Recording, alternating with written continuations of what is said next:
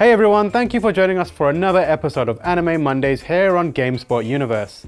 Last week, Callie got into the spirit of Valentine's Day and put together a list of must-watch romantic anime. This week, I'm going to be talking to you about one of my recent obsessions, My Hero Academia. But before I regale you about the wonders of All Might, I just want to remind you to hit the like button if you enjoyed the video and subscribe if you'd like to see more. We've got plenty of anime, comic, TV and movie content on the way and you don't want to miss it. Alright, let's get to it.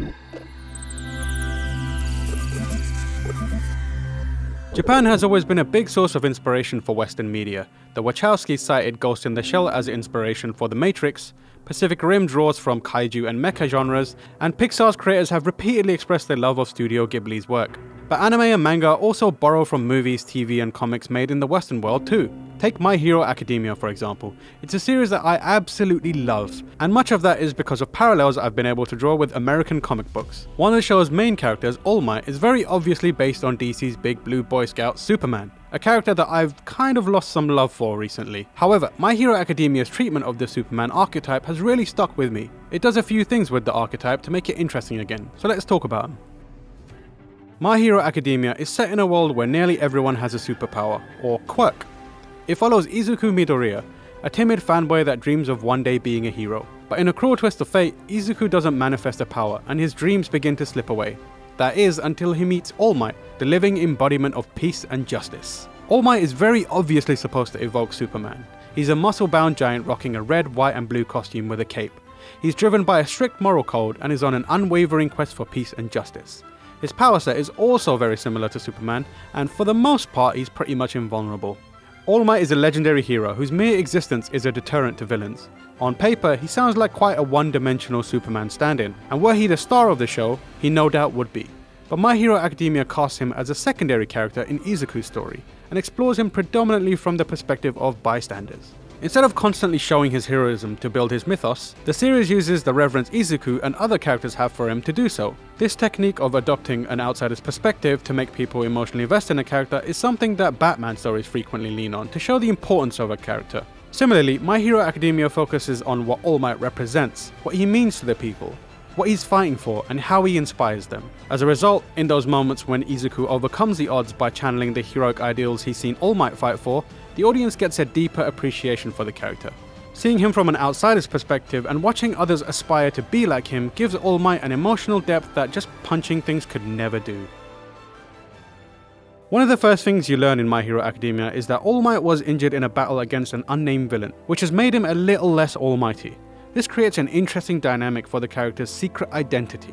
Since All Might's secondary identity is the result of a sickness, he transforms from a muscular Greek god into a emaciated husk with gangly limbs and sunken eyes, which is not a good look for the symbol of peace. His injury means he's only able to maintain his powered up state for a few hours before reverting to his weaker form, so it's vital to the safety of the world that All Might keeps his depowered state a secret. If the villains of the world learned that he could no longer sustain his heroic form, they would be emboldened to commit more crimes. Worse still, if they realized he could be killed, it could potentially plunge the world into a new era of villainy. This dynamic is at the heart of My Hero Academia story, and it's a very effective way of introducing tension to the secret identity trope.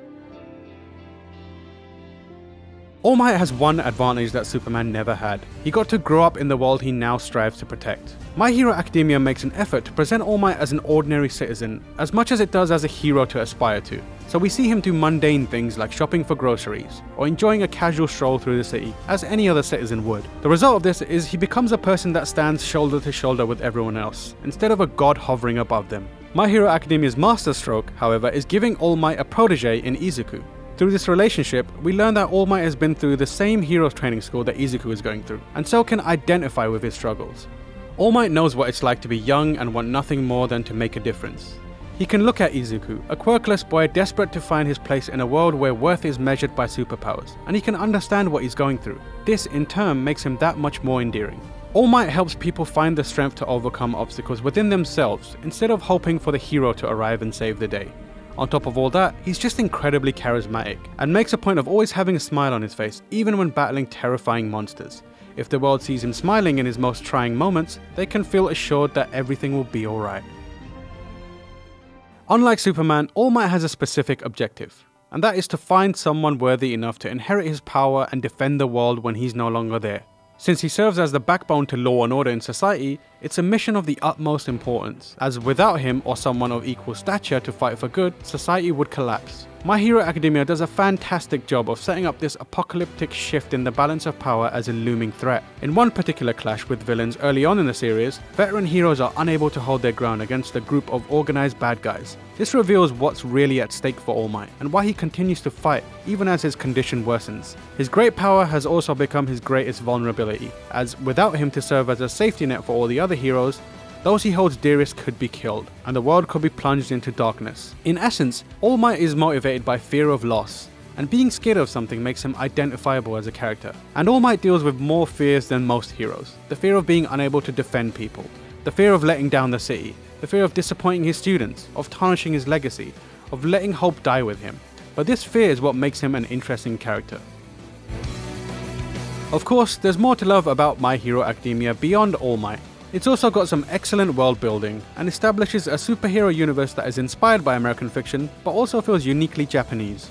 On top of that, it absolutely nails those triumphant moments where the underdog rises to the challenge. So give it a shot.